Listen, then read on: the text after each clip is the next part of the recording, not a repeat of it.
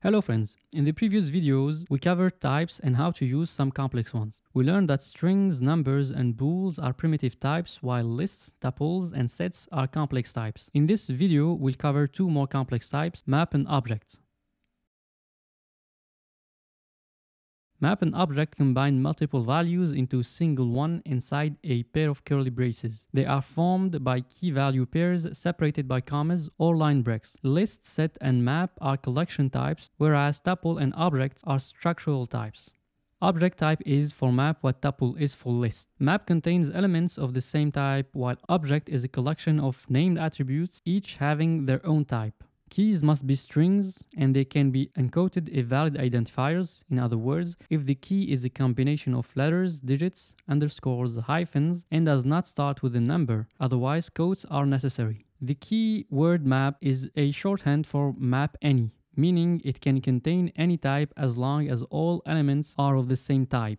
Let's put this into practice and create a simple map.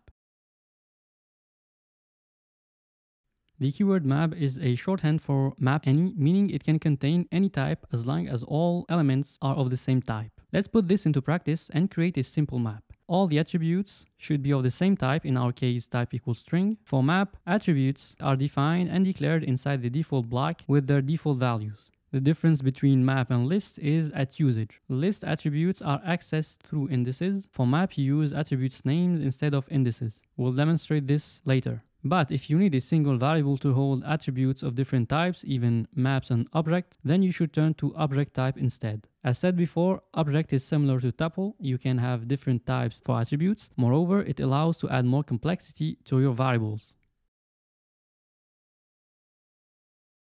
A simple object would have the following structure. Attribute names and types are declared in the object block, and default values are declared inside the default block. An object can also have nested blocks. We can add another object within the type definition and add in some attributes and declare its values in the default block in the same way.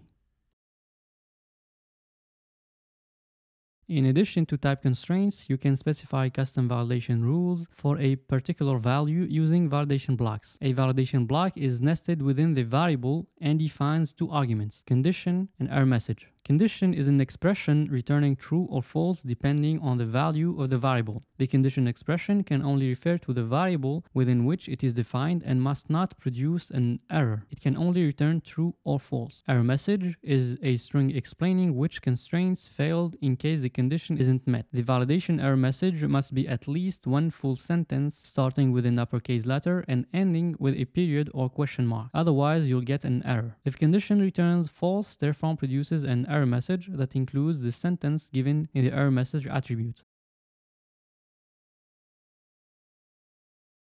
As per usual, let's apply what we just learned. First, switch VM params variable from tuple to object. Then add in attributes definition. We need a name, machine type, zone, and allow stopping for update. Then update the default block to reflect the type and declare these values. And also, for the fun of it, add in a validation block.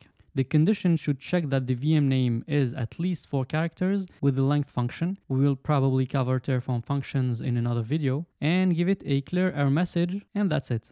In the main file, update VM fields to use attribute names instead of indices. Start with the name, replace the string with var.vmparams.name, and instead of having brackets for the remaining ones, replace them with the correct attribute names. Machine type for 0, zone for 1, and allow stopping for update for 2 run Terraform plan, it should work just the same. Okay, so far we learned about input variables, types, constraints, and validation rules. You now have enough knowledge to write your own configurations with confidence. But you'll notice that with time, you'll have increasingly complex configurations and understanding and navigating and updating them will become more challenging. Also, you'll definitely have an increasing amount of duplicated configuration blocks. In the next videos, we'll see how to address these issues with the Terraform modules. Till then, thank you for watching and see you soon.